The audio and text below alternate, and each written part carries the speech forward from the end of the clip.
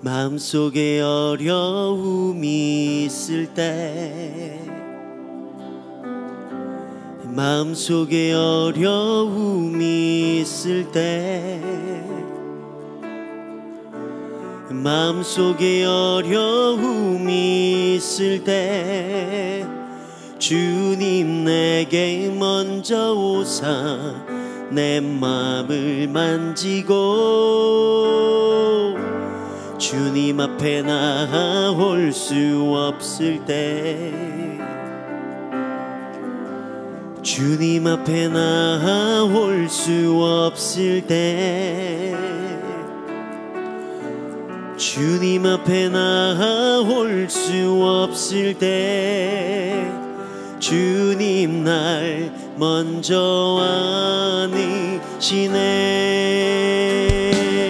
그럼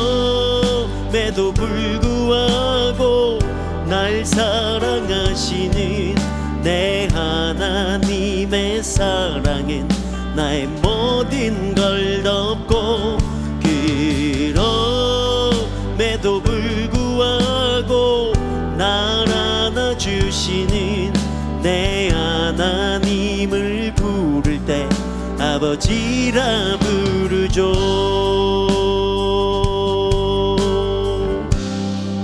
마음속에 어려움이 있을 때 마음속에 어려움이 있을 때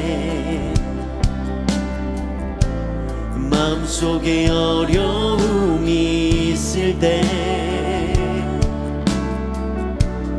마음속에 어려움이 있을 때 주님 내게 먼저 오사 내 마음을 만지고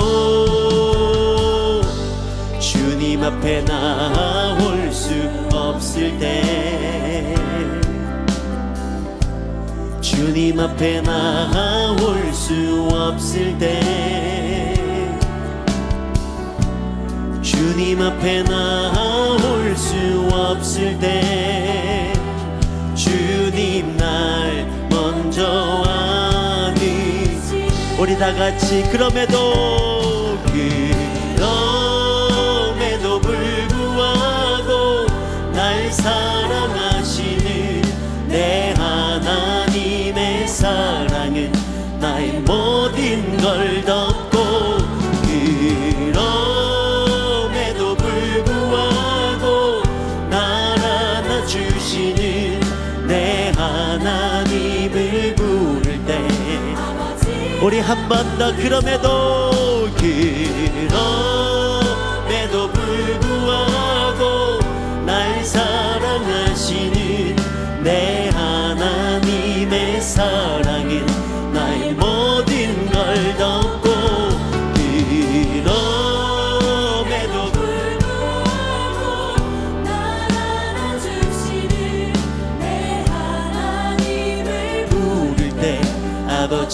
아버지라 부르죠 우리 한 번 더 고백할까요? 마음속에 어려움이.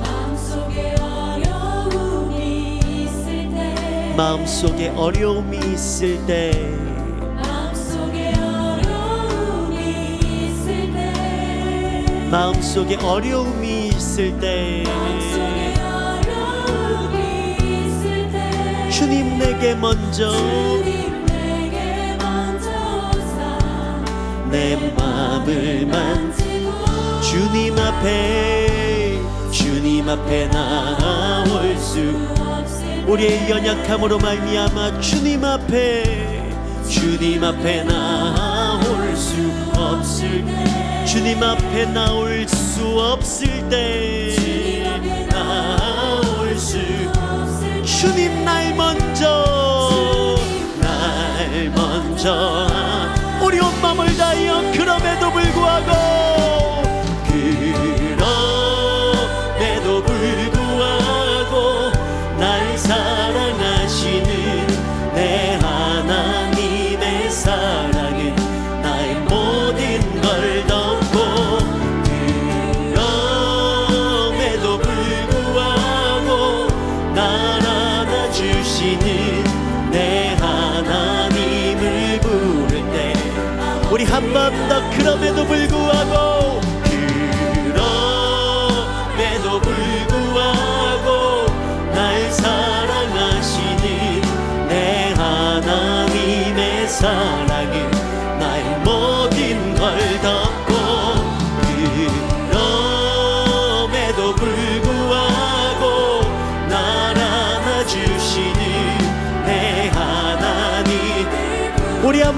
한번 오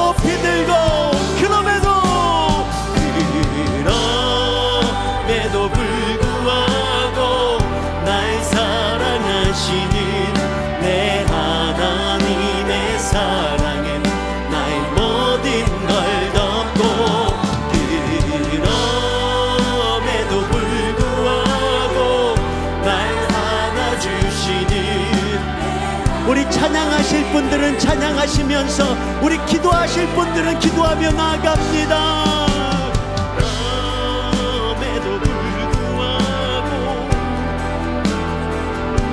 오늘 이 날 저녁에 끊을 수 없는 주님의 놀라운 사랑 그 품 안으로 우리가 달려나갑니다. 우리의 모든 연약한 이 알고 계시는 그분 그 놀라운 사랑 안으로 우리가 믿음으로 달려가오니 우리를 용납하시고 우리를 새롭게 하시고 우리를 변화시키시고 우리 능력 있게 하여 주시기를 간절히 소원합니다. 하나님! 하나님!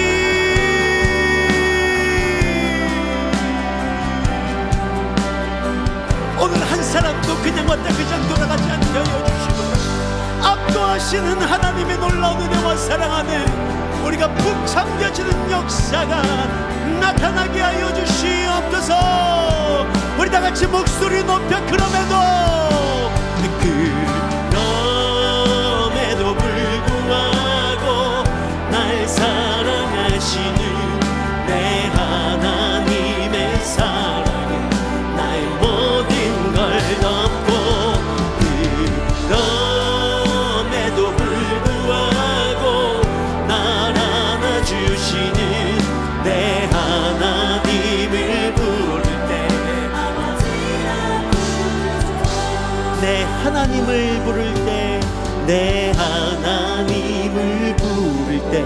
아버지라 부르 내 하나님을 부를 때 내 하나님을 부를 때 아버지라 부르죠.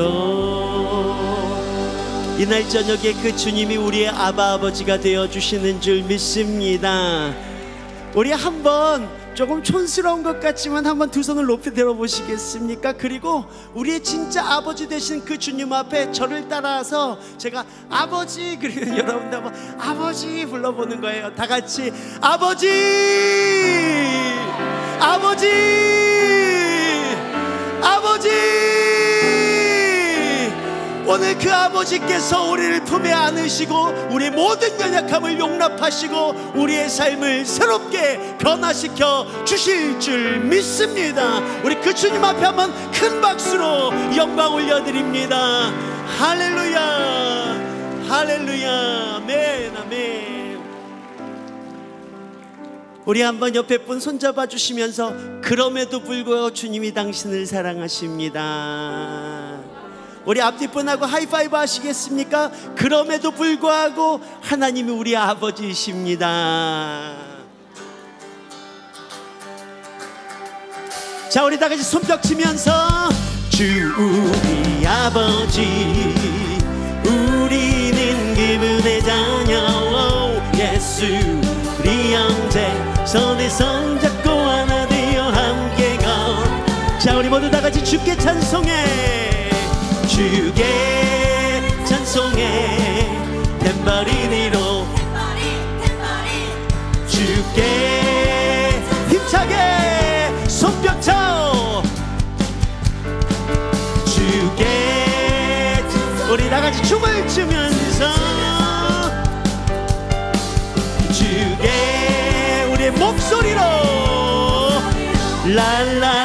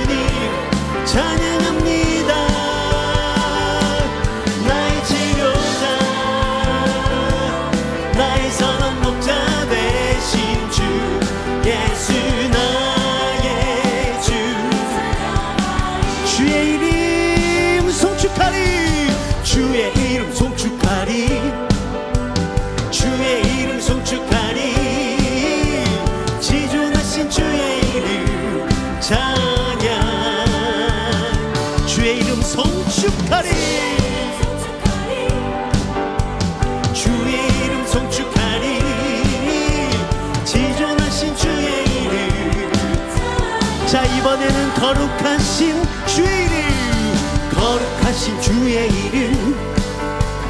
거룩하신 주의 이름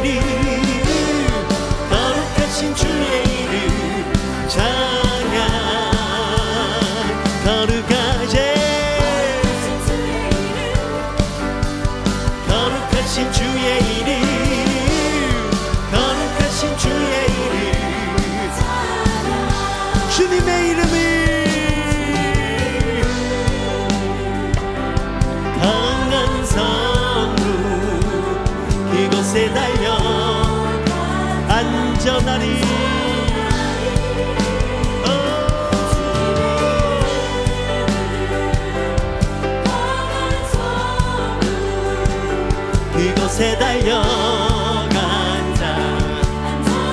영광스러운 주의 영광스러운 주의 이름 영광스러운 주의 이름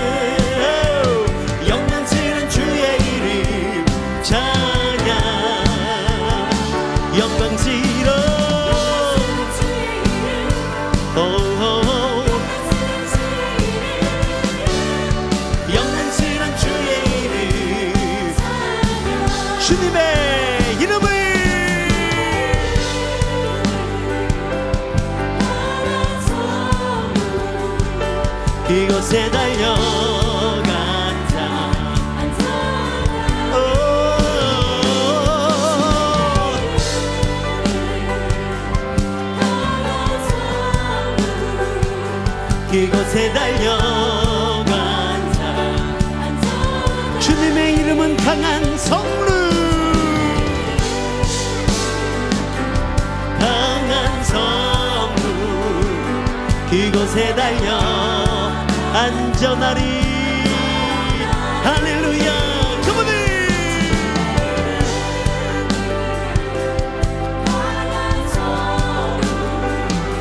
그곳에 달려간다 안전하리. 우리의 보호자가 되시며 능력이 되시는 그 주님 다시 한번 그분 앞에 우리 큰 박수 함성으로 영광 올려드립니다. 할렐루야. 아멘 주님의 이름은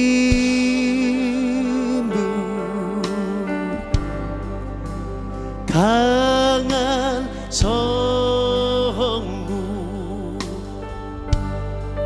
그곳에 달려간 자 안전한. 할렐루야 주님의 이름은 강한 성루가 되십니다. 강한 성 내가 주께로 피합니다.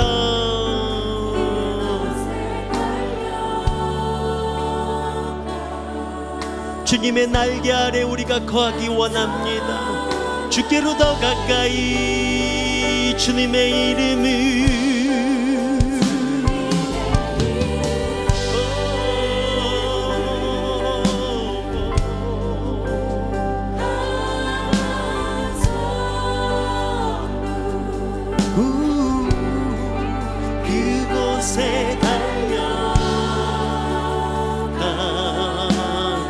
안전하리 어 주님을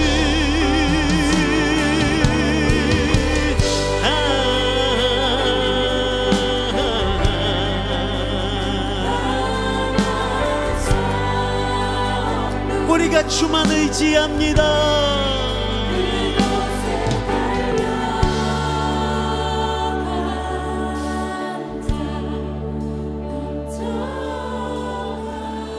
우리 이 고백을 다시 한번 주님 앞에 주님의 이름은 강한 성루. 주님의 이름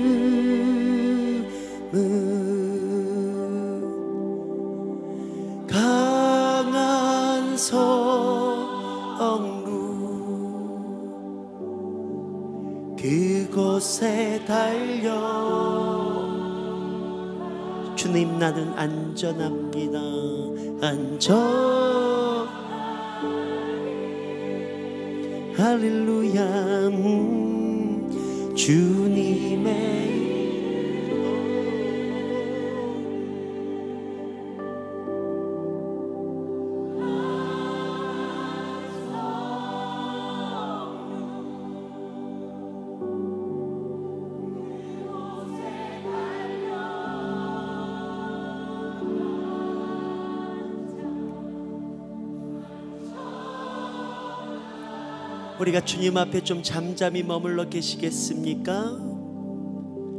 우리가 그분을 묵상하기 시작하십시다. 그분이 어떤 분인지 우리의 삶 가운데 이미 임재하고 계시는 그분의 날개 그늘 안으로 우리가 더 가까이 나가기 시작하십시다.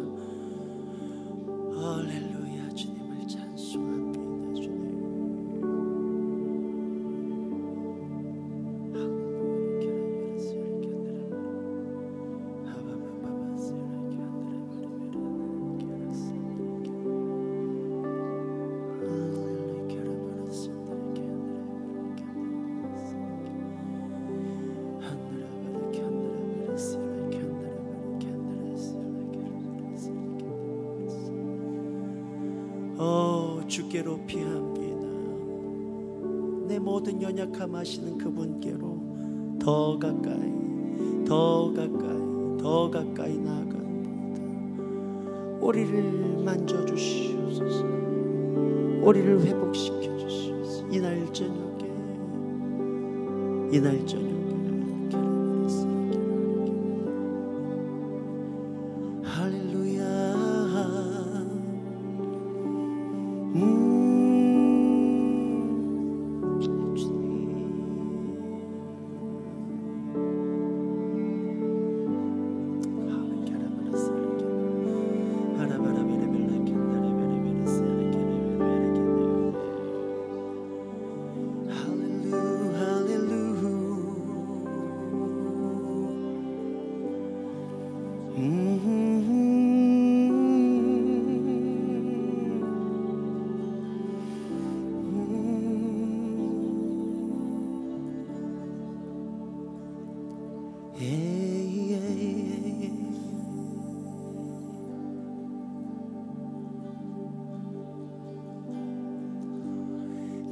속에 어려움이 있을 때 마음속에 어려움이 있을 때 마음속에 어려움이 있을 때 주님 내게 먼저 오사 내 마음을 만지고 주님 앞에 나올 수 없을 때 주님 앞에 나올 수 없을 때 주님 앞에 나올 수 없을 때 주님 날 먼저 아는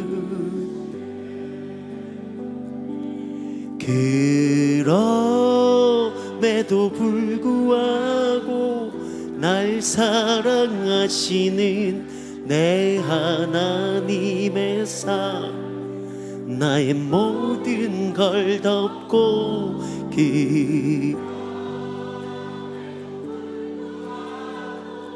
그날 안아주시는 내 하나님을 부를 때 그럼에도 그럼 날 사랑하시는 내 하나.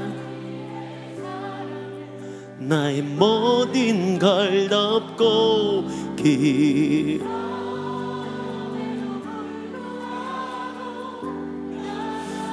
하시는 내 하나님을 부를 때 아버지라 부르죠.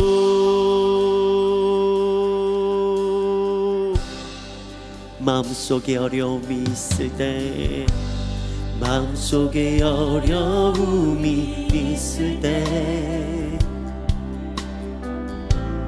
마음속에 어려움이 있을 때 마음속에 어려움이 있을 때 주님 내게 먼저 오사 내 마음을 만지고 주님 앞에 주님 앞에 나올 수 없을 때 주님 앞에 나올 수 없을 때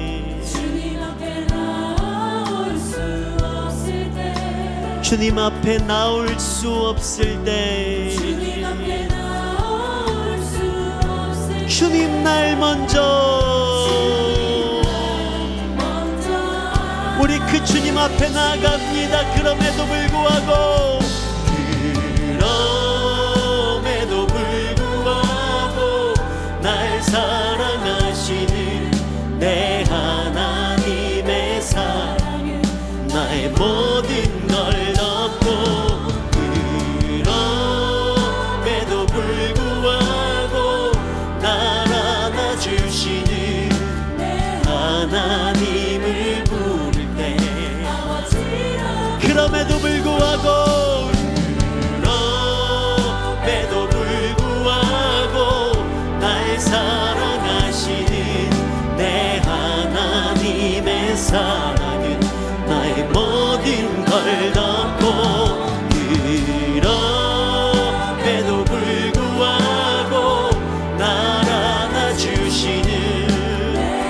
우리의 아버지 앞에 한번 두 손을 높이 들고 찬양합니다.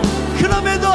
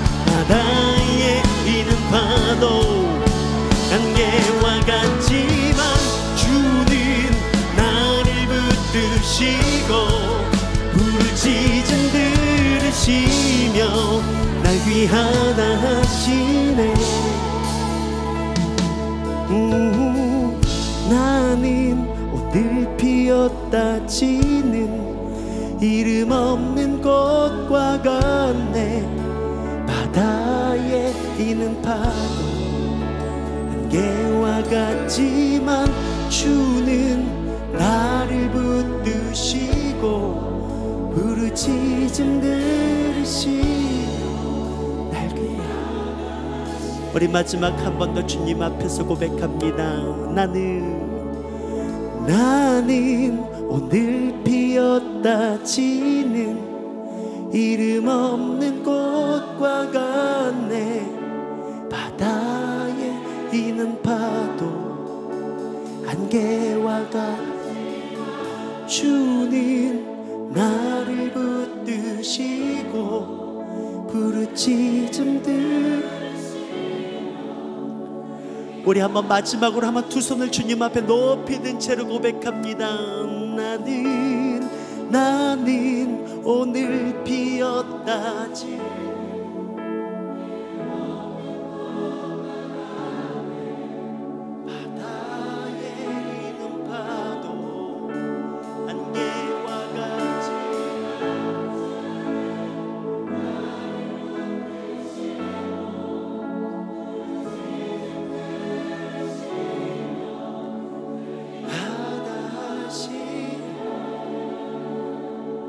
우리가 두 손을 든 채로 주 앞에 나가기 시작하십시다.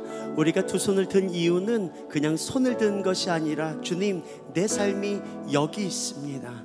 주님 내 삶이 여기 있습니다. 모든 사람들에게 혹시나 천대받을지라도 누구도 날 인정해 주지 않을지라도 많은 사람들로부터 업신여김을 당할지라도 그러나 주님은 나를 바라보실 때 한 번도 거절치 아니하시고 나를 가장 존귀하다 여기시는 분이신 줄 믿습니다. 그 주님 앞에 우리의 인생을 내어 맡겨 드리기 시작하십시다. 주님 계속해서 나의 인생을 조성하여 주시고 만져 주시고 뜻하신 바대로 이끌어가 주시옵소서. 내 힘이 아닌 내 힘이 아닌 오로지 주님의 능력 안에 온전히 거하게 하여 주시옵시고 주님의 뜻대로 내 삶이 놀랍게 쓰임 받게 하여 주시옵소서. 오늘 이 밤에 나의 삶을 주님 앞에 의탁하 여 드립니다. 책임져 주시옵소서. 우리 다 같이 주여 한번 간절히 부르시고 기도합니다. 주여. 제가 사는 곳이 강화도입니다. 멀리서 왔습니다. 강화도 와보셨습니까? 한 분도 강화도 놀러 오세요 이제 부담 갖지 말고 마음은 가볍게 두 손은 무겁게 이렇게 해가지고 월급 타면 놀러 오시면 좋겠어요. 아, 요즘 시대가 그죠? 아, 자판기에서 음료수 선택해 먹듯이 버튼 하나만 누르면 전 세계 유명한 간증자 뭐 설교 말씀 다 들을 수 있는 그런 시대를 살고 있습니다. 그죠? 어, 근데 저는 뭐 어, 유명하지도 건강하지도 뭐 성공하지도 않았는데 오늘 이 자리에 여러분들 앞에 어, 하나님이 세워주셔서 너무너무 감사하고요. 어, 저를 여러분들이 간증자다 이렇게 생각해가 제대로 하나 이런 무섭게 막 심사하듯이 이렇게 있으면 내가 다 이제 아픕니다. 그러니까 여러분들이 어, 불쌍한 아줌마 도와준다는 마음으로 이렇게 좀 웃어주시고 리액션을 하면서 이렇게 해주시면 제가 도움이 될 것 같아요. 여러분 이렇게 부산에도 지하철 있지요? 네. 서울에 있습니다, 지하철. 근데 지하철 타면 가끔씩 지하철에 문이 고장이 나가지고 안 닫힐 때가 있어요. 그럼 사람들이 다뭐 닦일 때까지 앉아 있어요. 근데 꼭 성질 급한 아저씨 한 명이 딱 일어나가 나가 내다보거든요. 그때 딱 문이 닫히잖아요. 어? 그럼 이게 센스에 의해서 딱 다시 열려요. 그 얼마나 아프겠어요. 목이 지하철 문에 끼었는데 우리가 앉아 있다가 걱정이 돼가지고 쳐다보는데 이 아픈 아저씨가 갑자기 막 목을 잡고 웃기 시작하는 거예요. 왜 저러노 싶어 궁금해가 물어봤죠. 그랬더니 역한에 내 같은 놈 또 하나 있다면서 그러더라고요. 그래요. 예. 아무리 큰 아픔이나 고통도 나하고 똑같은 아픔을 겪고 있는 사람이 있으면 웃으면서 그 고통 이겨나갈 수 있다고 생각합니다. 어, 어려운 시대 청년으로 살아가는 여러분들 힘들고 어렵지만 주위에 둘러보면 다 그렇게 그만한 그만한 사람들이 같이 있으니까 오늘 위로가 되리라 생각을 하고요. 예, 저, 저의 간증을 통해서도 또 여러분의 삶의 위로가 되었으면 참 좋겠습니다. 저는 음, 목사님 소개해 주신 것처럼 지성과 미모까지는 아니고 그냥 미모를 겸비한 예. 예, 하나님이 주신 귀한 선물 하기선입니다. 어, 이름을 어떠세요? 이름이 참 이쁘죠. 어, 제가 이렇게 다녀보니까 그런 것 같아요. 학력이 높고 공부 수준이 높은 이런 곳에 생활 수준이 높은 곳에 가서 이름을 소개하면 그쪽 분들은 음, 막 어쩌면 그렇게 얼굴하고 이름하고 똑같느냐 이러면서 박수를 치고 막 환호를 해. 예, 감사합니다. 예, 여러분들이 눈치는 빠르네요, 진짜. 어, 그러면서 이름을 물어줘. 아니, 어, 혹시 그 이름 가명이 아니냐고 이렇게 활동하려고 일부러 지은 이름이 아니냐 많이 물어보세요. 칭찬도 해주면서 의심도 많아요. 그런 분들이 대체적으로. 어, 하나님이 주신 귀한 선물, 하귀선. 여러분, 가명이가 본명인가 여러분도 좀 궁금하시죠? 예, 제가 원래 다른 데 가서는 이런 말을 잘 안 해줍니다. 하기야 매번 하긴 합니다만은 예. 예, 예, 예, 예, 예. 그러면서 어, 제, 제 이름이 사실은 이 이름이 어, 본명입니다. 제가 이렇게 집회하러 다니기 전에는요, 누가 이름을 물어오면 어떻게 하면 이름을 기억에 남게 설명할까 고민을 하다가 한문으로 이름을 풀이해드렸어요. 제 이름을 한문으로 풀이하면 무라자, 기알기자, 신선선자를 써서 물속에 사는 신선과 같이 귀한 사람이라는 그런 뜻이 되는데 물속에 사는 신선이 물귀신밖에 없는 거라. 그러니까 이건 이름의 뜻이 안 좋다고 고민했었는데 하나님이 이 사역을 시작하게 되면서 하나님이 주신 귀한 선물로 이름의 뜻까지 바꿔주셨어요. 여러분 뭐 귀한 선물은 우리가 성경을 이렇게 읽다 보면 정말 많은 믿음의 선진들이요 하나님을 만나기 전과 또 하나님 만나고 난 후에 이름의 뜻이 바뀌어지고 그 바뀌어진 이름대로 멋있게 인생을 살다 가는 것을 말씀을 통하여 읽게 되는데 저와 여러분들도 하나님이 우리에게 주신 우리 각자 가진 그 멋진 이름의 값을 하면서 살았으면 좋겠습니다. 제가 잘 아는 어떤 사모님이 있는데 이 사모님이 아들이 하나 있는데 아들 이름이 신천지입니다. 음, 뭐 목사님 아들인데. 그래 요즘 교회 이단들 때문에 교회 신천지 출입 금지 이런 거 써놓잖아요. 그 교회도 써놨대. 그러니까 주일학교 학생들이 이단 이런 거 잘 모르니까 하루는 목사님한테 와서 물어보더래요. 목사님 왜 천지영화 교회 출입 금지예요? 막 이렇게 물어보. 그러니까 목사님이 하도 자기 아들이 이름 때문에 이제 놀림을 당하는 게 속이 상해 놓으니까 하루는 강단에 쓰셔서 그러셨대요. 신천지 이놈들, 어? 내가 신천지 앱이다. 막 그러면서. 그래서 아들에게 이름을 개명해 줄까 그랬더니 그 신천지 천지가 그러더래요. 이제 중학교 2학년이면 16살이잖아요. 몇 년 전 얘기인데 아빠 나는 신천지라는 이름으로 16년을 살아왔고 이단 신천지는 10년인데 원조가 이름 바꾸는 게 어딨냐고 이단은 곧 없어질 거니까 걱정하지 말라고 아빠를 위로했다는 얘기를 들었습니다. 역시 목사님 아이들은 내공이 장난이 아니잖아요. 그죠? 아, 예. 제가 여러분의 박수 소리 꼭 그 천지한테 전해드리도록 하겠습니다. 예, 여러분, 저는 어, 초등학교 간증 시간이 짧아요. 여러분들이 길게 못 듣는다면서요, 여러분들이? 길게 하면 막 돌 던지고 그런다 그러던데 아까 그 목사님이 그랬어요. 예. 그렇기 때문에 짧게 사실 간증이라는 건 간단히 증가하는 게 간증이거든요. 그렇죠? 그래서 짧은 시간이지만 그러니까 여러분들이 집중해 주면 내가 빨리 끝내도록 할게요. 어, 저는 초등학교 4학년 때부터 결핵이라는 병을 앓게 되었어요. 횟수로 17년 동안 이 결핵이라는 병을 앓으면서 정말 수없이 많은 시간을 병원에서 병원으로 입원하고 퇴원하고 퇴원하면서 또 다른 병원으로 옮겨 입원하고 퇴원하는 일들을 17년 동안 반복하며 살아왔습니다. 제가 이 연수에 대해서 꼭 말해주고 싶은데 한 번은 어느 교회 간증을 하러 갔더니 담임 목사님이 집회 끝나고 다과를 나누시다가 나보고 그러는 거라 17년 동안 이 병을 앓은 걸 감사하라 그러는 거라 그래가지고 왜 그러시냐 물었지 그랬더니 만약에 18년 알았으면 어떡할 뻔했냐면서 간증할 때마다 18년 막 이래 말해야 되는데 그래서 야참 참 간증의 연도까지 개입하시는 하나님 네. 멋진 하나님 아니십니까? 제가 17년 동안 예, 그렇게 아팠습니다.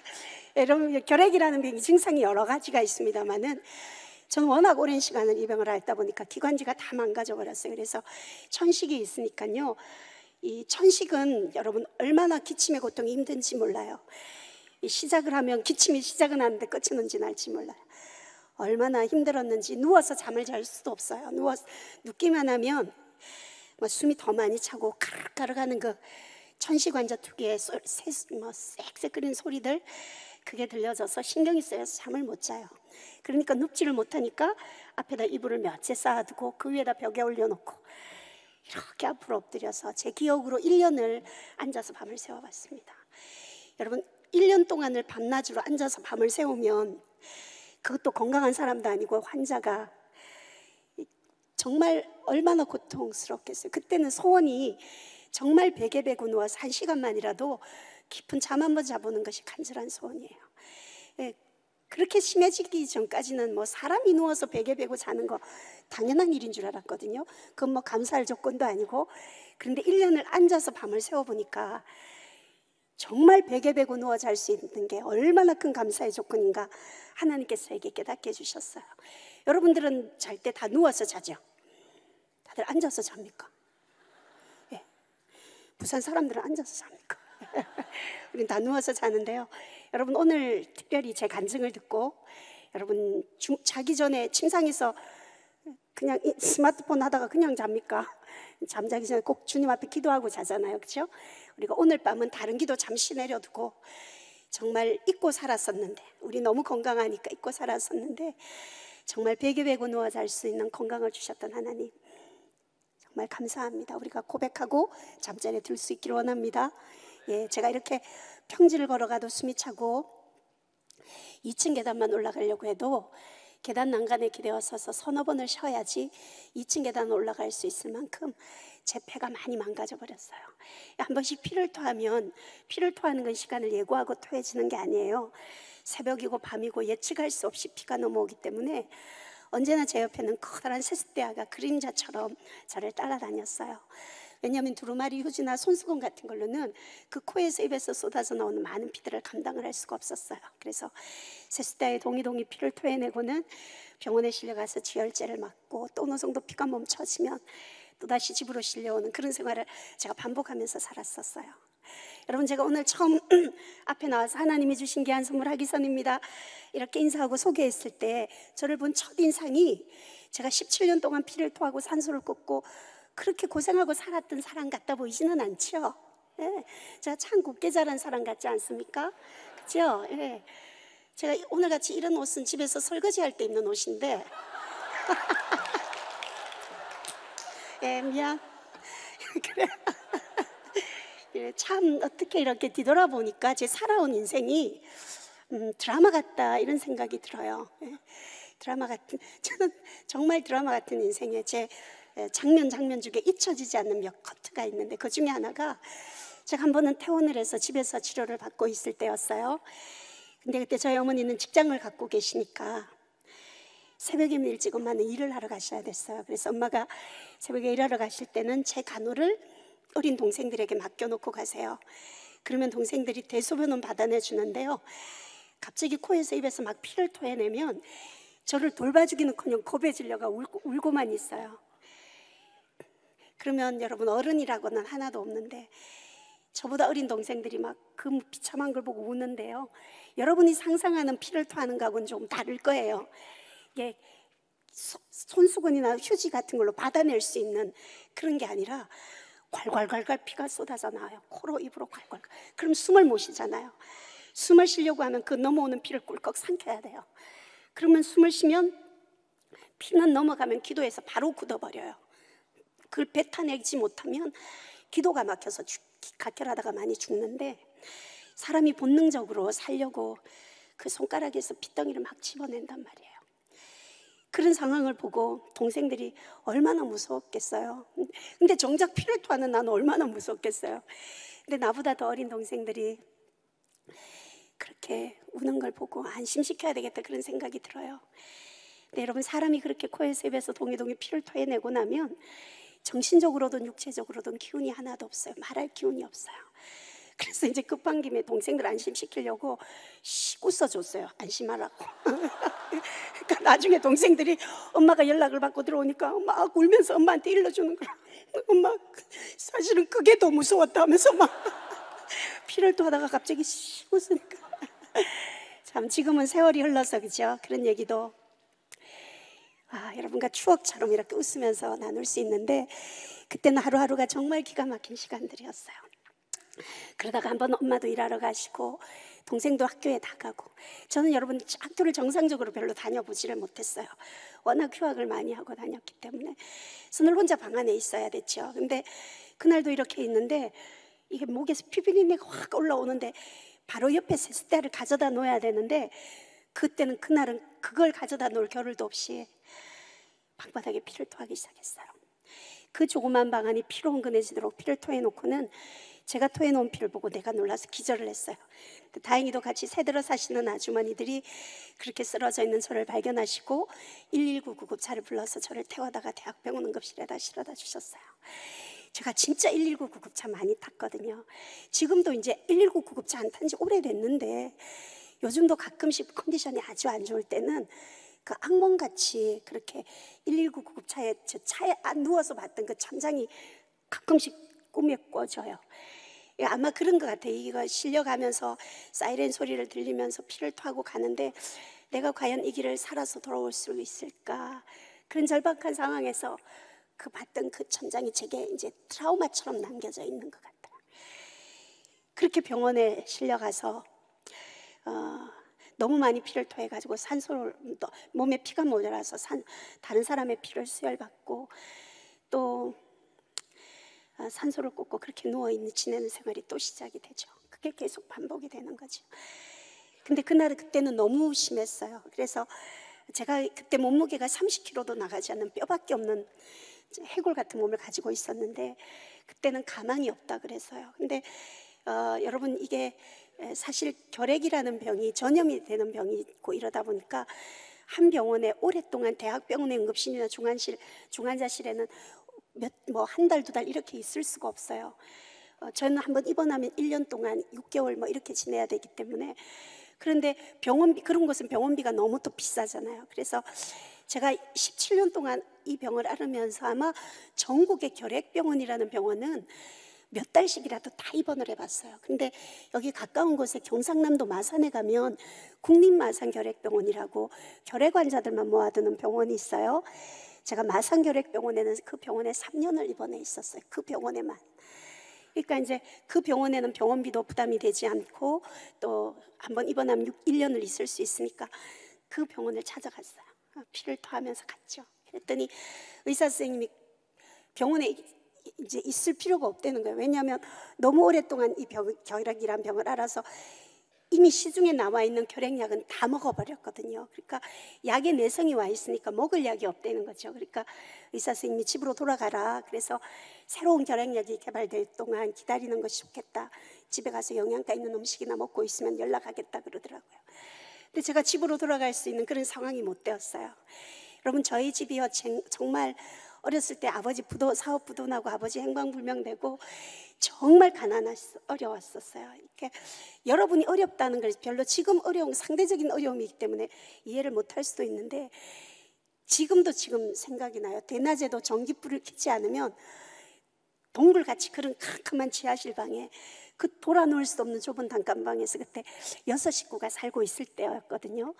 근데 여러분이 이 전염이 되니까 결핵이 제가 혼자 있, 동생들을 학교 가고 저 혼자 집에 있을 때는 피도 토할 수 있고 마음 놓고 기침도 할 수 있는데 동생들이 학교에 갔다 오면 혹시라도 내 병이 동생들에게 전염이 되어지면 내 동생들도 나와 똑같은 이런 고통을 겪게 하면 어떡하지 하는 그 걱정이요. 여러분 사실 몸 아픈 것보다 그 걱정이 마음의 고, 마음의 고생이 더 심했어요. 근데 의사 선생님이 입원을 허락해 주면 1년 동안은 먹고 사는 건 걱정하지 않아도 되니까 의사 선생님께 막 울면서 매달렸죠. 여러분 사람이 절박해지면 부끄러운 거 없어요. 여러분 아직 주저하고 막 이럴 때 아직 덜막 살만하다 그러니까 그러는 거예요. 진짜 절박해지면 부끄러운 거 없어요. 제가 의사 선생님께 막 울면서 부탁했어요. 선생님 그런 용기가 어디서 나왔는지 모르겠어요. 제 병이 낫든 낫지 않든 병원에서 있을 수 있는 기간만이라도 좀 있게 해달라고. 뭐 그냥 할 수 있는 건 우는 것밖에 없었어요. 그냥 펑펑 울고 있었어요. 그 의사 선생님이 보니까 진짜 뼈밖에 없는 해골 같은 사람이 나이도 어린데 정말 이렇게 어, 펑펑 울고 있으니까 마음이 아프셨던 것 같아요. 인간적으로도. 더군다나 이 사람이 엑스레이를 찍으면 새까맣게 폐가 보여야 되는데 저는 하얗게 흔적조차 이제 혈액균들이 다 갉아먹어 버려서 17년 동안 알아오면서 그러니까 엑스레이를 봐도 너무 기가 막히니까 한참을 고민을 하시더니 그러면 다시 한번 치료를 해보자. 그렇지만 효과는 크게 기대할 수 없으니까 각오는 하고 있어라. 그러면서 병원에 있는 것을 허락해 주셨어요. 여러분 의사 선생님하고 면담을 마치고요. 1년 동안 먹고 자는 건 걱정하지 않아도 되는 하나님 내게 주신 그 피할 길 주신 하나님 너무 감사했어요. 그래서 물론 먹을 약도 없고 치료할 방법도 없어서 얼마 못 살 거다 그 절망적인 걸 보면 원망이 되고 실망이 되죠. 근데 저는 그거 포기 그런 거 생각하지 않았어요. 그 가운데 그 고난 그 환경 내가 처한 환경에서 그래도 생각해 보니까 감사할 게 있는 거예요. 너무 감사하잖아요. 그래서 병실에 돌아가지 않고 병원에 안에 있는 교회를 찾아갔어요. 그 마산결핵병원에는 800명의 어, 결핵 환자를 수용할 수 있는 아주 큰 병원이어서 병원 안에 교회도 있고 성당도 있고 절도 있거든요.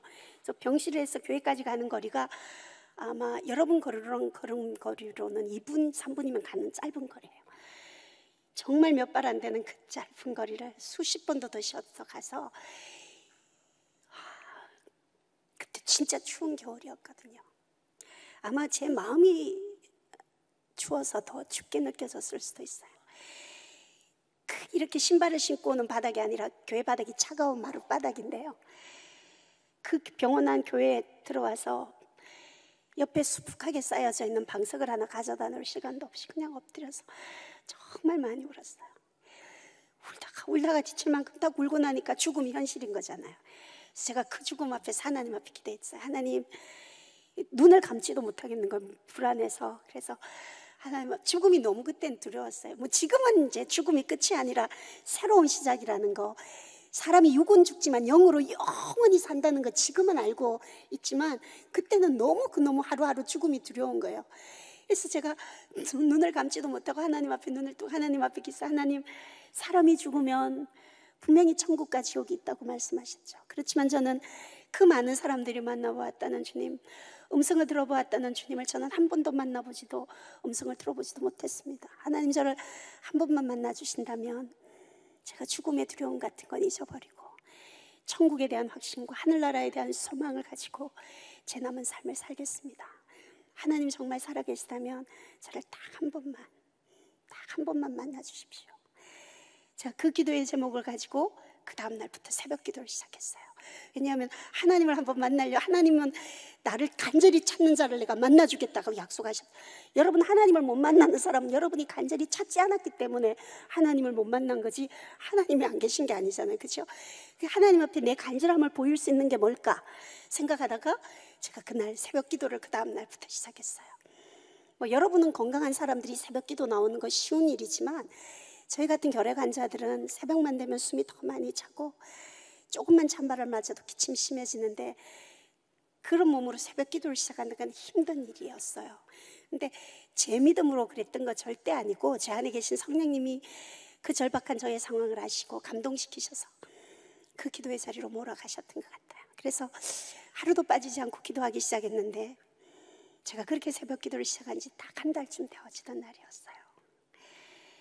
그날도 여느 날처럼 교회 오면 새벽 기도 오면 기도하는 자리 정해진 자리 있거든요. 그렇게 앉아서 펑펑 울면서 기도했어요. 기도하는데 여러분 저는 하나님의 음성을 우레와 같은 뭐 그런 소리로 들어보지 않았어요. 너무나도 따뜻한 음성으로 혼내거나 나무래는 음성이 아니라 너무 따뜻한 음성으로 너는 보는 거로 믿느냐? 보지 않고 믿는 자가 복되도다. 야, 기도하는데요. 저는 여러분 그 순간에 놀라운 사실을 깨닫게 되었어요. 전 사실 우리 주님이 제게는 좀 특별한 응답을 해주기를 기대하고 있었거든요.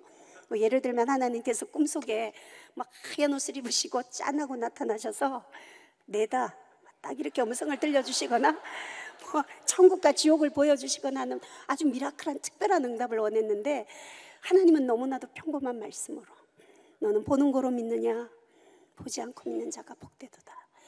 여러분 전그 순간에 놀라운 사실을 깨닫게 되었어요. 우리가 바람이 어디서 와서 어디로 가는지 우리 눈에 보이지 않아서 볼 수 없지만 시원한 것으로 바람의 존재 알 수 있는 것처럼 우리 주님 내 눈에 보이지 않아서 내가 볼 수 없고 만질 수 없어도 언제나 우리 주님은 늘 변함없이 늘 평안함으로 내 안에 늘 나와 함께하고 계신다는 사실을 깨닫게 하셨습니다. 저는 제가 아파하고 힘들어할 때 그 고난 속에 저 혼자 울고 있는 줄 알았는데 우리 주님은 제가 아파할 때 저보다 더 많이 아파하시고 제가 힘들어서 통곡하고 있을 때 우리 주님 저보다 더 많이 안타까워하시면서도 너무나도 저를 사랑하셔서 제가 건강했다면 하나님 떠나 살 사람이라는 거 너무나도 잘 아시고 그 17년 긴 세월을 질병으로 연단하고 징계하시면서 어긋난 세상의 길로 나가지 못하도록 우리 주님 곁에 콕콕 붙들어 두셨다는 사실을 깨닫게 하셨습니다. 건강한 자로 지옥 가게 하는 것보다 비록 불구인 채로라도 천국 가게 하는 것이 아버지의 뜨거운 사랑의 방식이셨음을 제가 그때 깨닫게 되었어요. 여러분, 어, 저는 성장하면서 물론 학교도 정상적으로 제대로 별로 여러분들이 정상적으로 중학교 졸업하면 고등학교, 고등학교, 대학 이런 과정을 하나도 밟지 못했어요. 음, 늘 병원에 입원, 퇴원, 또 휴학해서 늘 혼자 지내는 그런 시간이 많았기 때문에 늘 음, 외롭게 격리되어져서 살았어요. 제가 성장하면서 어머니라고 불러야 됐던 새엄마들이요 다섯 분 계셨어요. 저희 아버지 대단한 바람둥이셨어요. 네?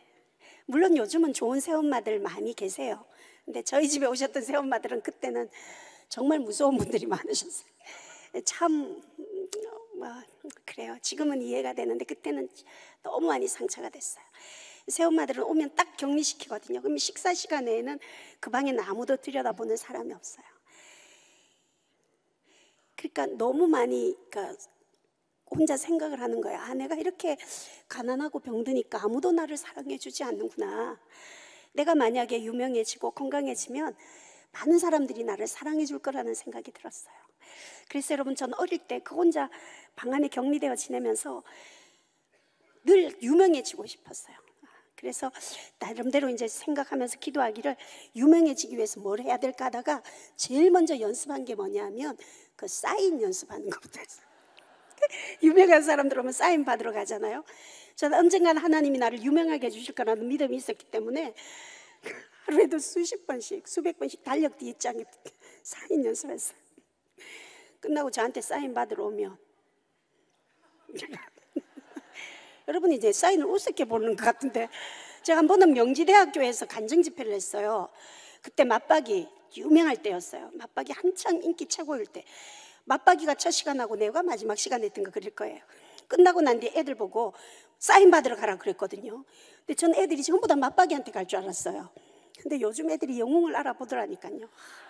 제 앞에 오는데 줄을 섰는데 제가 그날 정말 팔이 아프도록 사인해 줬어요, 제가. 감사합니다. 이 사인 연습을 하면서 생각을 했어요. 그럼 내가 뭐가 돼서 유명해질까 생각을 했어요.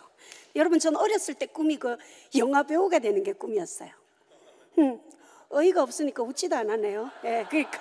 예, 예. 그럴 입장도 아닌 것 같은데, 여러분들도. 그러면서, 그러니까. 그럼 내가 뭐가 돼서 유명해질까 생각했는데, 저는 그 어렸을 때 꿈이 그 영화 배우를 했잖아요. 근데 이 얼굴 가지고 영화 배우가 안 되는 걸 빨리 깨달았어요.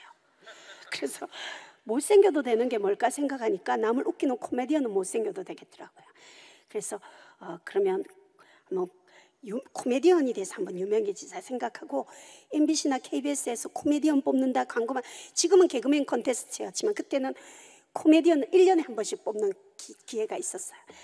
원고를 탁 준비해서 대회 출전하려고 하면 이상하게 하나님께서 그 대회를 나갈 수 없도록 길을 막으시더라고요. 그러니까 하나님께서는 제가 뭐 코미디언이 되어서 세상적으로 유명해지는 걸 원하시지 않으셨던 것 같아요. 그때 하나님이 못 나가게 해서 제가 안 나가서 그렇지. 제가 그때 나가기만 했다면 그냥 1등은 할 수 있었습니다. 여러분들이 지금 심정은 있는데 물증이 없으니까 저 아줌마가 이라고 고개를 갸우뚱하고 계시는데요. 제가 한 번은 경주에 교도소 간증을 하러 갔어요. 경주 교도소는 남자 재소자들만 있어요. 갔는데 수백 명의 깍주기 아저씨들이 자리 탁 강당에 있는데 막 문신도 하고 무섭게 앉아 계시는 그분들을 몇백 명을 보는데 무섭다 생각, 생각이 드는 게 아니라 순간적으로 동병상련의 마음이 탁 생기는 거예요. 왜냐하면 이분들이 교도소라는 이 험한 곳까지 오기까지는 저들이 살아온 환경이나 살아온 세월들이 얼마나 고단하고 힘들었을까. 나도 정말 세월만 밑에서 많이 서름당하고 힘들게 살았는데 하나님 나와 함께 하지 않았다면 나도 저들처럼 저렇게 한, 저 제수복 입고 앉아 있을 사람인데 그런 생각이 드니까 그분들이 남처럼 느껴지지 않는 거예요. 형제처럼 느껴지는데 이분들이 인생을 포기하고 딱 앉아 있는데 마음이 너무 아픈 거예요. 그래서 제가 간증을 하다가 그분들 보고 그랬어요. 여러분, 여러분들 지금 앉아 있는 이 자리가 진흙 구덩이에 빠진 것처럼 앞으로도 뒤로도 갈 수 없는 기가 막힌 상황 속에 있지만 나는 적어도 여러분들이 이곳에서 하나님에 대한 기대가 있었으면 좋겠다. 꿈이 있었으면 좋겠다. 나를 봐라. 나는 여자고 내가 언제 죽을지 모르는 그 죽음 앞에서도 내가 하나님 앞에 유명하게 해달라고 기도했고, 어? 내가 대회를 안 나갔어 그렇지. 내가 나갔다면 1등 했다. 뭐 그러면서 이분들이 희망을 가지라고 좀 과장되게 얘기를 하고 있었어요. 한참 이렇게 얘기를 하고 있는데 제일 뒤에 앉아 있던 억수로 무섭게 생긴 재소자 아저씨 한 명이 간증하고 있는데 예배 시간에 손을 딱 들더니 일어나는 거라. 천천히. 그러더니 어, 그러면 그 개인기 한번 보여보세요. 딱 이라는 거. 그래 내가 깜짝 놀라가지고 잘못 들었는 줄 알고 예 뭐라고요? 그러니까 그분 대답을 듣고 이해를 했어요. 그분이 그러시는 거예요. 아 우리는 하도 사기를 많이 치고 돌아다녀서 눈에 안 보이는 건 못 믿겠어요. 그 개인기 한번 보여보세요. 이러는 거예요. 근데 이분이 여러분 저를 놀리려고 여자 강사니까 짓궂게 하려고 그러는 게 아니었어요. 제일 뒤에 앉아서 무서운 얼굴로 이렇게 있는데요. 여러분 남자가 눈물 흘리는 거 이렇게 어, 감추면서 흘리는 거 보신 적 있어요? 제가 이 교도소 간증은 교회 간증은 지금은 이- 이뭐 이렇게 디테일하게 못하지만 교도소 안에서 하는 이 간증은 제 삶을 더 깊이 내려 다 알려드려요. 왜냐하면 저 같은 사람도 하나님 함께 하셨는데 그럼 그분들에게 조금이라도 위로가 되고 공감이 되는 게 있으면 좋겠다 해서 간증을 하는데요. 이 남자분이요 제 간증을 들으면서 하염없이 눈물을 이렇게 흘리는 거 보이는 거예요. 물론 그 눈물의 의미는 제가 지금도 모르겠어요. 두고 온 부모님에 대한 죄스러움 때문인지 아니면 제 얘기를 들으면서 두고 온 자식들에 대한 미안함 때문인지 모르겠는데 그렇게 울다가 그분이 일어나서 그럼 한번 증거를 보여보라는 거예요. 그렇게 피를 토하고 그러면서도 사인 연습을 하고 개그맨, 코- 코미디언 뽑기 위해 대회를 나가려고 연습했던 증거를 보여보라는 거예요. 그러면 그 증거를 보여주면 자기가 믿겠다는 거예요. 여러분, 한 영혼이 내가 개인기를 보여주면 예수를 믿겠다는데 제가 누굽니까? 개인기 보여줘봤죠. 그랬더니 난리가 났습니다. 경주교도소 생기고 저보고 더 이쁘게 생긴 여자는 다녀간 적이 없었다면서. 그 남자분 일어나서 제가 기립박수 받았습니다. 예. 예. 감사합니다. 네? 음. 박수를 요렇게 치, 예. 예, 감사합니다. 예, 감사합니다. 예. 아, 여러분들 제가 이렇게 전국을 이렇게 전 세계를 이렇게 다니다 보니까 아, 제가 뭐 이렇게 저 하나님 앞에 유명하게 해달라고 기도했다 그랬잖아요. 제가 뭐 정말 하나님 유명하게 해주셨어요. 제가 이태리, 독일, 프랑스, 파리, 영국 뭐 이런 데는 못 가봤어요 아직. 근데 못 가봤는데 곧 가게 되겠죠. 뭐 그런데 그러다 보니까 전국을 다니다 보니까 대충 그 사람 박수 치는 모습을 보면 그분의 가문을 대충은 알 수가 있어요. 누가 앞에 나와서 강사가 얘기를 할 때 그 강사가 잘하든 잘못하든 그 강사를 바라보면서 환하게 웃어주고 뜨겁게 박수를 쳐주는 사람들의 조상을 조사해 보면 그런 분들 조상은요 거의 다 정승 판서 막 이런 분들. 근데 누가 앞에 나와서 개인기를 보여 얘기를 해도 박수도 안 치고 인상만 탁 쓰고 있는 이런 젊은 애들도 그런 애들 있습니다. 그런 사람들 조상을 조사해 보면 그런 분들 조상은 거의 다 마당새 아니면 뭐잘돼 봐야 내시 막 이런 사람. 내시가 후손이 있는지 모르겠습니다. 저 오늘 수영로교회 이 청년 예배에 나오신 청소년 예배 청년 예배죠. 네. 여기에 나오신 진짜 나는 이 저녁에 이 수영 부산에서 서면 안 나가고 이렇게 예배 시간에 여 있는 청년들이 이렇게 많다는 건 너무 놀랐어요. 여러분들 전부 다 오늘 여기 나와 있는 분들은 정승판서 자제분인 줄 알고 제가 다시 한번 인사. 감사합니다. 네. 네, 우리가 뭐 여러분 정승판서 자제 되겠습니까? 우리가 여러분 누굽니까? 내가 누구냐죠? 네, 그래 하나님의 자녀들이에요. 자기 정체성도 모르고 살면 어떻게? 하나님의 자녀들이에요. 여러분 잘 들어요. 중요한 얘기니까. 하나님의 자녀들은 누가 잘 못하는 사람이 앞에 나와서 개인기를 보여줬을 때, 응. 그 개인기가 재미가 하나도 없어도 그래도 저 아줌마가 쌕쌕거리면서 열심히는 하려고 하네. 이러면서 뜨겁게 박수를 쳐줄 줄 아는 따뜻한 마음을 가진 사람이 하나님의 자녀들이다. 이제 요 얘기를 개인기 하기 전에 미리 해두는. 감사합니다. 자, 자 여러분들이 하나님의 자녀라는 거 기억하시고 자, 이제부터 개인기 들어가겠습니다 우리가 비행기를 타고 가다 보면 스튜어디스들이 안내 방송을 하죠 어떻게 하냐면 이렇게 하죠. Uh, Ladies and gentlemen, on behalf of Korean Airlines, we would like to thank 이게 제가 영어를 낮에 배워가 밤만 되면 이렇게 더듬어요. 아 미안해 미안해. 아, 예. 다시 한번. Ladies and gentlemen, on behalf of Korean Airlines, we would like to thank you. 뭐, understand? 네, 다 됐어요. 예, 그러니까 근데 이렇게 기차를 타거나 이렇게 비행기를 타면 안내 방송을 하는데 이 기차 한 번 타고 보면 안내 방송을 하는데 어떻게 하냐면 이렇게 하죠. 어, 청도 밀양 삼당진 부산진 무궁화 열차 타는 곳 3번홈이 되겠습니다. 선로 가까이 계신 분 안전한 홈 쪽으로 박수 칠 때까지 하겠습니다. 이렇게 하잖아요. 네. 제가 그 방송을 들으면서 생각을 했어요. 아, 우리나라는 각 지역마다 사투리가 있는데 그 지역의 사투리로 안내 방송을 하면 정말 재밌겠다. 고향 간다고 기차 탔는데 장거리인데 졸려가지고 이렇게 졸다가도 자기 고향 사투리로 안내 방송이 딱 나오면 아 이제 내가 내릴 때가 됐구나 이러고 내리면 되겠다 이런 생각을 했죠. 여러분 제가 고향이 대구입니다. 응? 예, 대구인데 경, 동대구역에 가면 안내 방송을 하는데 어떻게 하냐면 이렇게 하죠. 동대구역에는 동대구역입니다. 내리실 손님 이제 신물건이 없으신지 다시 한번 살펴보시고 천천히 차례대로 내려주시기 바랍니다. 동대구 여기는 동대구 여기 이렇게 방송을 하잖아요. 근데 이 방송을 이렇게 하지 말고 경상도 사투리로 하는 거죠. 어떻게 하냐면 이렇게 하죠. 대구입니다. 야, 대구 다 왔어, 얘. 아, 내리실 손님은 얘, 뭐, 일가 부 물건은 없는가? 단디 한번 살펴보시고, 천천히 차례대로 내려줘 있어. 대구입니다. 뭐, 이렇게 하는 거지. 예. 예. 근데, 이 방송이 전라도, 광주, 목포 이쪽으로 가면 또 방송이 달라져요. 어떻게 하냐면 이렇게 하죠. 음이 징하게 반갑구만. 아따, 여거가 목포란 게 싸게 싸게 왔은 게 후딱 내리부쇼. 막 그렇게. 응. 근데 이 방송이 충청도, 대전 이쪽으로 가면 또 방송이 달라져요. 어떻게 하냐면 이렇게 하죠. 대전이요. 대전이라니까요. 근데 안내 방송도 덜 끝났는데 기차 벌써 떠났네요. 뭐 이렇게.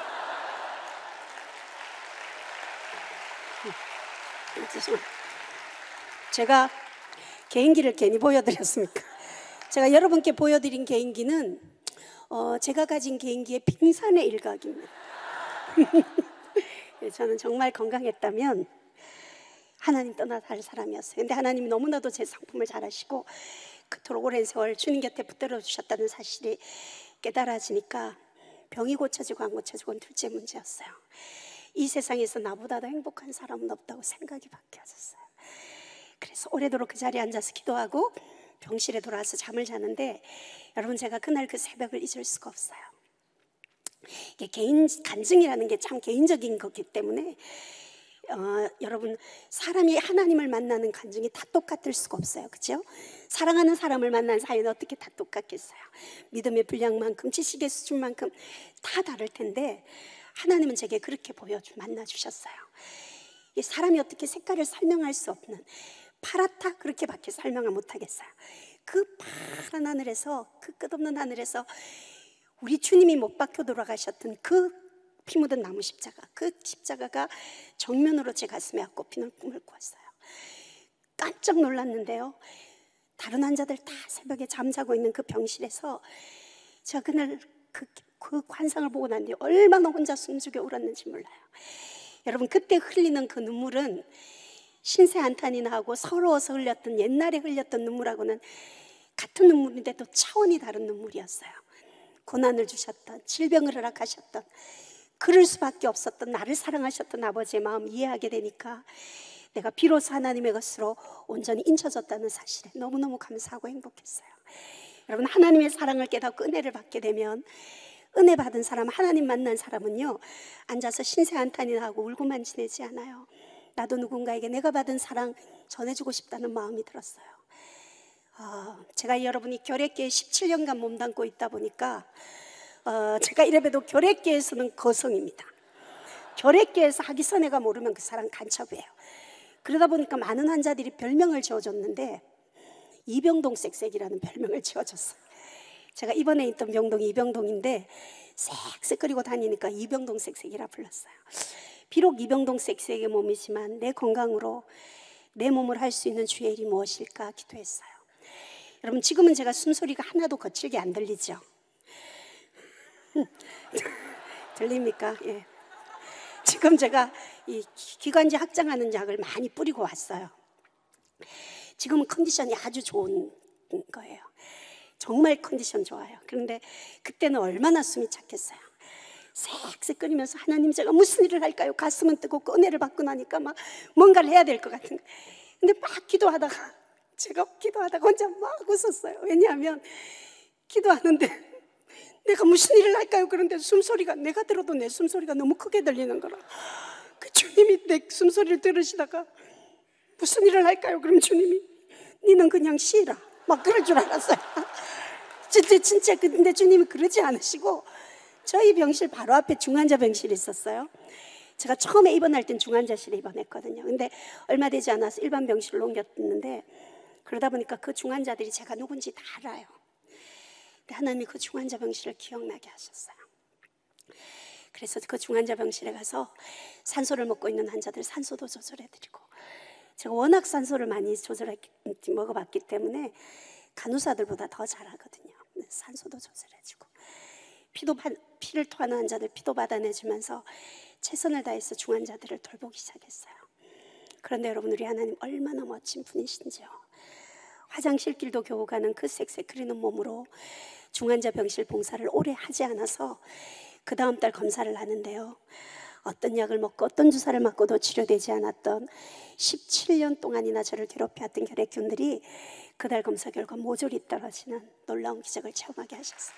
할렐루야. 예. 그래요. 예.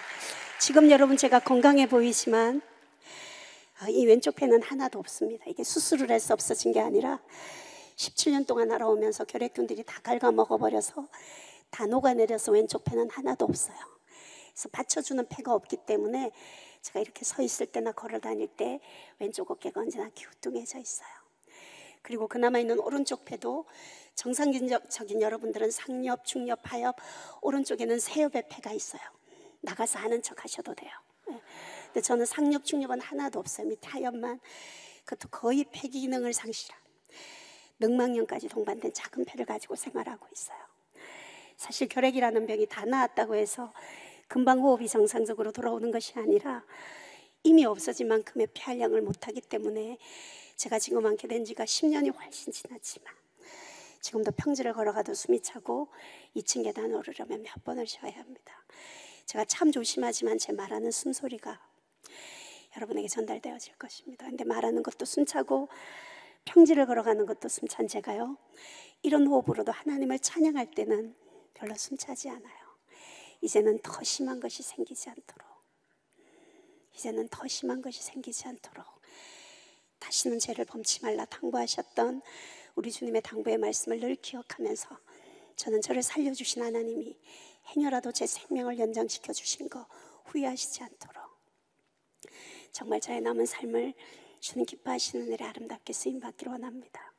여러분 몇 년 전부터 저희 같은 결핵 환자들에게도 장애인증을 주도록 법이 바뀌어졌어요. 그래서 마산결핵병원에 장애 진단을 받으러 갔죠. 그랬더니 외래를 봐주시는 의사 선생님이 자기들이 배운 의학으로는 설명이 안 되는 환자래요.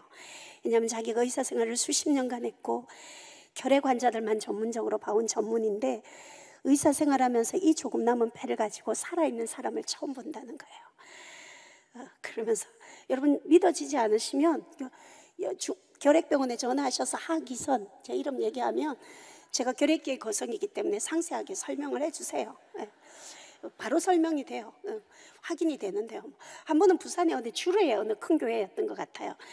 간증을 해달라고 연락이 왔어요. 저는 뭐 가- 교회가 크다 작다 이런 거 물어보지도 않고 뭐 워낙 유명하지도 않기 때문에 오라는 데도 별로 없어요. 그러니까 보니까 뭐 비어 있는 거예요. 그날도 여전히. 그래서 약속을 했어요. 알고 보니까 그 교회는 장로님들이 의사 선생님들이 27분인가 8분이 장로님인 거예요. 그러니까 이제 당, 다- 나중에 전해 들었어요. 당회를 하시다가 이번에 헌신 예배 강사가 누가 오냐 물으셨나 봐요. 부목사님께. 그러니까 부목사님 이런 이렇게 오랫동안 투병 생활하다가 찬양하는 사람이 온다 그러니까 이 장로님 의사 장로님들이 그러셨대요. 아 우리가 그래도 명색이 의사인데 그 환자 말만 들을 수 없다. 부산하고 마산은 가까우니까 그분을 치료했던 의사 선생님도 한번 우리가 섭외해 보겠다. 그러셨대요. 그래서 난 가- 사실도 모르고 이제 간증하는 날이 돼서 교, 교회를 또 갔더니 제 주치의가 거기 또 가 있는 거라.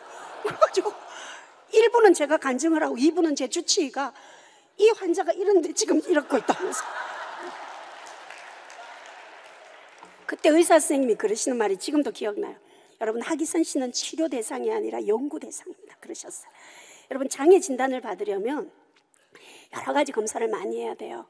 제 검사 결과를 검사를 해놓고 결과가 오후에 나왔는데 불러서 의사실에 들어갔더니 선생님이 자료를 보면서 그러세요.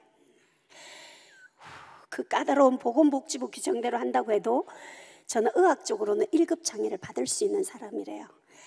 근데 어떻게 설명할 수는 없지만 이 조금 남은 폐를 가지고도 이렇게 건강하게 살아가니까 1, 2급 별 차이 없으니까 2급 정도면 무난하겠다고 그러면서 제게 2급 장애를 주셨어요. 여러분들이 지금 잘 모르는 것 같은데 여러분 2급은 여러분 1급 다음에 2급입니다. 예? 중증 장애잖아요. 항상 보호자가 따라다녀야 되는 중증 장애인데 제가 2급 장애인입니다. 이렇게 말씀드리기 전까지 여러분 이렇게 예쁜 장애인 보신 적 있으세요? 여- 여러분들이 지금 저 아줌마가 정신장애도 있나 막 이렇게 쳐다보는 것 같아요. 그래서 저는 하나님이 제게 주신 장애인증에 대한 자부심이 대단한 것이요. 제 간증으로만이 아니라 의학적으로도 하나님이 저를 치료해 주셨다는 게 검증받았다는 것 때문에 이 장애 인증에 대한 자부심이 대단합니다. 그리고 이렇게 말하는 것도 숨차고 평지를 걸어가는 것도 숨찬 제가 제가 33이 되도록 시집 오라는 사람이 없었어요. 제가 늘 기도를 했죠. 주여 시집 보내주소서. 뭐 그러면서 노래를 막늘 기도. 하나님 저에게는 보아스 같은 신랑을 주십시오. 딱 그랬어요. 보아스 여러분 누군지 아십니까? 성경에 나오는 1등 신랑감 아닙니까? 주는 건 하나님 마음이고 구하는 건 내 마음이지. 제일 좋은 거 일단 달라고 기도했어요. 그 열심히 기도했어요. 그런데 하루는 제가 잘 아는 미국에서 공부하고 오신 목사님 저를 부르더니 하집사, 제가 처녀 집사였거든요. 얼마나 믿음이 좋았겠습니까? 응? 그 하집사님 시집가기 위해서 기도는 하고 있나 물으시더라고요. 목사님 걱정하지 마십시오. 제가 하나님께 보아스 같은 신랑을 달라고 기도하고 있습니다. 그러니까 이 목사님이 저를 이렇게 쳐다보더니 근데 보아스는 좀 어렵고 외아스 같은 신랑은 안 주시겠나 그러니까 그래서 제가 그 얘기를 전해 듣고 인천에 계신 어떤 집사님 보고 얘기를 해드렸어요. 이 집사님이 너무 긴장을 하고 들으셔가지고 이 외아스가 구약에 나오는 인물인 줄 알고 예? 밤새도록 성경에서 외아스를 찾았대요. 이 목사님이 말씀하신 거기 때문에 분명히 성경에 있는 인물이다. 이런 생각. 제가 그 얘기를 전해도 얼마나 재밌던지 전라도 광주에 갔다가 집회하러 갔다가 광주에 계시는 목사님 보고 한번 여쭤봤어요.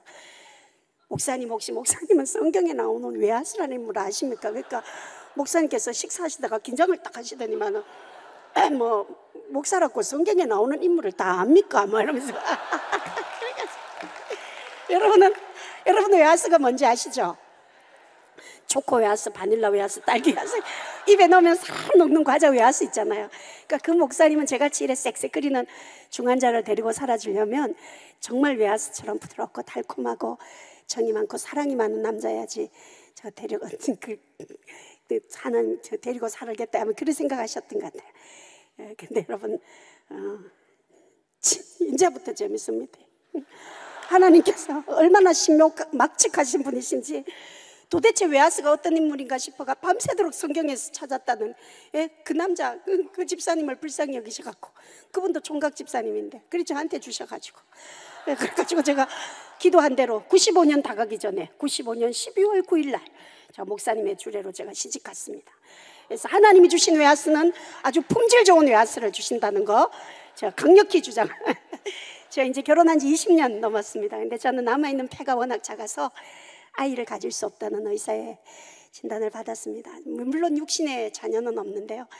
저는 이제 저에게 엄마라고 불러주는 자녀도 없고 제가 엄마라고 불러야 될 부모님도 다 돌아가셨어요. 음, 근데 하나님은 여러분 어, 자기의 재능과 소질을 최대한 발휘해서 죽을 곳이 있어서 죽을 곳을 향해 달려가는 사람은 그 일이 고상하든 유치하든 가장 가치 있는 일이라 생각되어져요. 하나님은 제게 죽을 곳을 달려갈 수 있는 일을 어, 이 땅의 작은 교회 사모님들, 개척교회 정말 목회 무게외에 가난의 층까지 안고 가 사시는 사모님들을 섬기는 일을 하게 하셔서 매년 3월 5일이 무슨 날인지 아세요? 3월 5일은 사모의 날입니다. 그래서 제가 만들어 버렸습니다. 그냥. 그래서 아직 법에서 인정은 안 했는데 우리끼리 사모들끼리는 3월 5일 사모데이 우리가 사모데이 막 이러면서 3월 5일 사모데이 행사를 지금 6년째 열심히 올 지난주에 사모데이 800명 사모님들이 전국에서 오셔가지고 성황리에 잘 마쳤습니다. 여러분도 3월 5일이 되면 꼭 기억하셨다가 여러분 교구의 목사님 사모님에게 돈 좀 모아가지고 꽃이라도 하나 사드리면서 꼭 선물이 아니더라도 사모님 고맙습니다. 감사합니다. 한번 안아주시는 따뜻한 청년들이 되었으면 좋겠습니다. 예. 그래 됐으면 좋겠습니다. 예, 감사합니다. 예, 예. 아, 이제 간증을 마무리하겠습니다. 음, 저는 여러분 아, 아, 저희 집에는 산소가 박수로 쌓여져 있습니다. 아, 갑자기 호흡 곤란이 오면 이렇게 멀쩡하다가도 하다가도 갑자기 호흡 곤란이 오거든요. 그러면 산소를 꽂고 있다가 이제 병원에 갈 동안 먹고 있다가 병원에 실려가 1년에 한 서너 번은 병원에 입원을 하게 돼요. 그러면 한 두 주 정도는 산소를 꽂고 있다가 퇴원하고 하는데 한 번은 제가 입원해 있는데 한 달 반, 두 달 가까이 입원해 있었어요. 그런데 이게 산소를 먹고 꽂고 있는데도 숨이 너무너무 이게 음, 어, 호흡이 곤란히 이게 잦아들지를 않는 거예요. 그렇게 한 달쯤 지났는데 새벽에 2시에 호흡 곤란이 왔어요. 호흡 곤란이 오면 무섭게 오거든요. 산소를 그 밤에 산소를 제일 세게 올렸어요. 그런데도 아무 효과가 없는 거예요. 그러니까 의사들 간호사들 막 당직하는 의사 비상이 걸렸죠. 산소 수치를 재어 보니까 너무 산소 수치가 떨어지니까 이 콧줄 산소를 빼내고 이제 이상한 기계를 갖고 왔는데 몸속에 있는 이산화탄소를 빼내고 고단위 산소를 넣어주는 큰 기계를 입에다 꼽더라고요. 근데 보통은 그 기계를 꼽으면 수치가 조금씩 올라가야 되는데 그 기계를 꼽았는데도 산소 수치의 변화가 하나도 없는 거예요. 여러분 물론 다른 곳이 아파도 힘이 들지만 이 숨을 못 쉬는 고통은요. 차라리 아, 하나님 데려가시면 좋겠습니다. 그렇게 할 만큼 너무너무 고통스러워요. 숨을 못 쉬니까 얼굴이 퉁퉁 부어서 그리고 의식을 잃어가려고 하는데 옆에서 의사 선생님, 간호사, 이제 보호자가 나누는 얘기가 제 귀에 들려요. 음, 저 기계를 꽂고도 수치가 정상적으로 돌아오지 않으면 중환자실 옮겨서 인공호흡기 껴야 되니까 준비하라고 그러는 거예요. 그 의식을 잃어가는 가운데 그 고통스러운데 그 얘기를 딱 듣는 순간에 그동안 참았던 눈물이 왈칵 쏟아지는 거예요. 그러면서 그 짧은 시간인데 여러분, 여러분 내 평생에 할 수 있는 기도를 그 짧은 시간에 다 할 수 있더라고요. 제가 하나님 앞에 그렇게 기도해서 하나님 정말 내가 평생 주님 사랑하고 살았는데 하나님 내 마지막이 중환자실에서 인공호흡기 끼고 있다가 하나님 만나고 싶지 않다고 하나님 나 좀 도와달라고 정말 기도했어요. 음, 근데 정말 거짓말처럼 여러분 이게 모든 환자에게 통용되는 건 아니에요. 제 개인적인 신비기 때문에 정말 거짓말처럼 산소 수치가 조금씩 조금씩 올라가는데 완전하지는 않지만 인공호흡기 중환자실에 옮겨서 인공호흡기는 끼지 않아도 될 만큼 수치가 올라간 거예요. 그래서 가다 이제 의사들 돌아가고 혼자 그래도 고통스러워서 하, 그리고 있는데 남편이 연락을 받고 달려왔어요. 저희 목사님이 달려왔어요. 들어오더니 그렇게 산처럼 부어서 이상한 기계를 꽂고 헉헉 그리고 있는 저를 보더니 막 울기 시작하더라고요. 제가 결혼하고 20년이 넘도록 그 남편이 그렇게 우는 걸 처음 봤어요. 펑펑 울더니 제 손을 잡고 기도를 했어요. 하나님, 음, 3년만 더 살려주십시오. 그렇게 기도하는 거예요. 음, 근데 그때는 제가 급해서 아멘을 했어요. 그때 너무 급했거든요. 그러니까 아멘을 했는데 정신을 차리고 나니까 3년이 너무 짧은 거라. 그래서 아, 근데 저희 남편 믿음으로는 사실 여러분 제 상황이 얼마나 최악이었냐면 사실 석 달도 믿음이 없으면 말할 수 없을 만큼 기도할 수 없을 만큼 절박한 상황이었어요. 근데 3년을 얘기했다는 건 저희 남편으로서는 대단한 믿음으로 한 거죠. 그래서 제가 남편에게 여보 이게 3년이 너무 짧다 이거 우리 둘이 합의해서 이거 3년 취소하고 30년으로 우리가 연장하자 그랬더니 합의해 주겠냐 하니까 합의를 해 주겠다고 해 가지고 일단은 30년으로 연장을 시켜 놨어요. 그래서 여러분들이 기도해 주면 여러분의 청년의 그 붉은 피로 뜨거운 기도로 드리는 주님 그 기도를 주님이 제일 들어주시리라 생각하고 혹시 기도하다가 생각나면 기도해 주세요. 그래서 그렇게 해서 이제 진- 연장을 시켜놓고 사는데 이제 퇴원을 하는데 여러분 이게 사람이요 사- 숨이 차면 삶의 질이 진짜 떨어져요. 정말 숨 찬 것보다 더 힘든 게 없어요. 침대에서 방 안에 있는 화장실을 가는 것도 숨이 차서 기어서 가야 해요. 그렇게 지내니까 어, 또 숨이 차면 또 병원에 입원하고 또 일주일 만에 퇴원했다가 또 일주일 만에 또 입원하고 그 계속 반복하는 거예요. 그한 번은 입원을 했는데 제 옆에 옆에 병실에서 환자가 1인실인데 환자가 한 명 죽었어요. 근데 여러분 환자로 입원해 있다가 누구 죽는 환자를 보면 괜히 기분이 이상하거든요. 그래서 아, 마음이 나의 내 죽으면 어떻게 준비해야 되지 뭐 이런 여러 복잡한 생각이 많이 들어요. 그렇게 지내다가 퇴원을 했거든요. 퇴원하고 집에서 지내다가 일주일 만에 또 호흡곤란이 와가지고 어, 또 다시 병원에 갔어요. 휠체어를 타고 또 갔어요. 근데 그때가 여러분 한창 메리스가 유행할 때였어요. 근데 입원했는데 열이 나고 사- 소호흡이 곤란이 오는데요. 이건 어떤 해열제를 링거로 맞아도 떨어지 열이 떨어지질 않는 거예요. 너무 절박해 막 심해지니까 그 다음날 아침 일찍 간호사들 의사 선생님들이 중 완전 무장을 하고 텔레비에 나오는 그런 무장이 점, 그 있잖아요. 그 비닐 덮어씌고 다 가가지고 둘러서더니 저보고 그러는 거예요. 제가 증상이 메르스라는 거예요. 내가 메르스 고위험군인데 딱 증상이 지금 메르스여서 나를 격리시키기로 했는데 그 격리병실이 어디냐면 지난주에 입원했을 때 사람 죽었던 그 1인실. 거기로 나를 격리시킨다는 거예요. 딱 그 경, 이건 어떻게 안 한다 할 수 없는 게 아니에요. 나 때문에 다른 환자가 만약에 메리스라면 피해가 가면 안 되니까. 딱 격리병실에 들어갔어요. 근데 여러분 이게 믿음과 상관없이 모르면 괜찮은데 어, 내가 누워 있어야 될 저 침대에 시체가 누워 있었다는 걸 알고 있는데 그리고 이 병실에는 아무도 격리되어서 아무도 못 들어온다고 그러다 가니까 그 자 침대에 앉고 싶은 마음이 없는 거예요. 그 산소를 이렇게 코에다 달고 열은 펄펄 끓었는데 문 앞에 서서 한참 울었어. 제가 여러분 잠깐 봤지만 낙천적이어서 제가 잘 울지 않아요. 근데 그날 너무 서러운 거예요.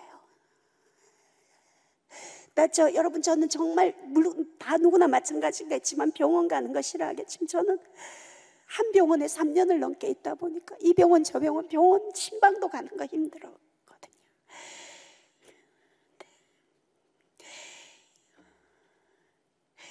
근데 그곳에서 지내야 된다고 생각하니까 너무 섭섭한 거예요 하나님 앞에. 너무 무서웠어요. 그렇게 울다가 지내는데 이 시간을 이렇게 울다가 보낼 수가 없겠는 거예요. 그래서 얼른 생각했어요. 아, 내가 감사할 게 뭐가 있을까 생각했니까 정신을 차리고 감사할 게 뭐지? 정말 그, 그, 정말 정신없이 생각해 봤어요. 그랬더니 하나씩 하나씩 감사 제목이 떠오르는 거예요. 일단 내가 죽지 않고 살아있다는 게 감사하고 아직 메리스가 확진되지 않고 희망이 있다는 거 그게 또 감사하고 이런 환경인데도 이 속에서 그래도 내가 감사할 걸 찾고 있는 그런 믿음 주신 하나님 그 하나님이 너무 감사했어요. 하나하나 감사를 고백하다 보니까 여러분 언제 그랬냐는 것처럼 그 어두웠던 두려움, 무서움이 싹 없어지는데요. 야, 저는 그런 경험 처음 해봤어요. 그곳이 천국이었어요. 너무 행복했어요. 갑자기 찬양을 부르면서 그 침대에 앉아가지고요. 정말 하나님하고 3일을 그곳에서 지냈는데 정말 하나님과 독대하면서 너무너무 행복하게 지냈어요. 그래서 3일이 지나고 메리스가 아니라는 게 확진이 돼서 이제 문을 열고 일반 병실로 6인실로 옮기는데 제가 신부 입장하듯이 걸어갔어요. 너무 행복해가지고. 예, 제가 사실 그 전까지는 계속 입원 퇴원 입원 퇴원 반복하다 보니까 하나님께 너무 섭섭했거든요. 근데 격리병실에 3일 딱 있어 보니까 6인실에 있을 수 있는 이 일상의 행복이 얼마나 감사한지 하나님 제게 감사를 회복하게 해주셔서 이제는 어떤 환경에도 하나님 원망하지 않고 감사하면서 그렇게 지내고 있습니다. 여러분 어떠세요? 제가 참 행복하게 보이지 않으세요? 예, 감사합니다. 고맙습니다. 예, 저는 여러분들이 정말 부럽습니다. 여러분이 젊어서도 부럽고 평범한 일상의 삶을 살아오는 여러분들이 정말 부럽습니다. 그리고 지금 새털같이 가벼운 몸으로 이렇게 젊음을 뛰어놀 수 있는 그 여러분의 그 젊음이 너무너무 부러운데요. 여러분 저는 언제 호흡곤란이 올지 모르는 두려움 그런 마음을 갖고 있어요. 그러다 보니까 어, 언제나 폭탄을 안고 사는 것 같아요. 근데 이게 폭탄이 터지면 나 혼자 죽는 게 아니라 내 주위의 모든 사람들까지 아프게 해야 되니까 그게 너무너무 사실 힘들어요. 그런데도 제가 이렇게 저는 그렇게 생각해요. 내일은 내 날이 아니다. 오늘 내가 살아있는 이 날이 내게 주신 내 날이다. 그래서 사람을 만날 때도 한 번 만나면 영원히 같이 살 것처럼 행복하게 지내다가 헤어질 때는 다시는 내가 이 사람을 못 본다 생각하고 그렇게 아쉬워하면서 헤어지는 그런 삶을 제 삶의 방식을 그렇게 살게 하셨어요. 저럼 여러분들이 어, 정말 저에 비하면 가진 것도 또 행복에 감사할 조건도 더 많은데 그런 여러분들이 원망하고 불평하고 살아간다면 여러분 주님이 보실 때 여러분이 장애인이고 제가 정상인이고 그렇겠죠? 늘 감사하면서 여러분들이 이 시간 젊음의 시간들 아름답게 에, 잘 지나갔으면 참 좋겠습니다.